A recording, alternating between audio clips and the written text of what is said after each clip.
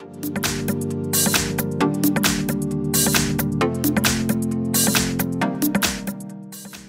Hi! In front of me is iPhone 13 mini and today I would like to show you how you can add event to calendar on this device. Firstly, go into calendar. Now you need to pick a date by clicking at the chosen one and tap on this plus icon at the top right corner. Then customize your event however you wish to. For example, you can add a title, choose location by tapping on the chosen one, pick starting hour, ending one or turn off this feature by clicking on the switcher next to all day. You can also select repeat, pick one of the options like every day, choose and repeat and pick for example on date, select one of those and then your event will end at 31st.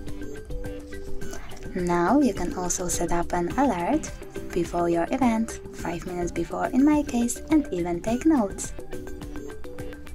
When you're done, select Add at the top right corner and as you can see my event was successfully created. You can always delete it though by clicking on it, scrolling all the way down and tapping on Delete Event. Over here, in order to delete this event on this day, click on Delete this event only and if you want to delete all your events, click All Future Events and now it's gone. Thanks so much for watching. If you enjoyed this video, don't forget to leave a like, comment and subscribe. Bye!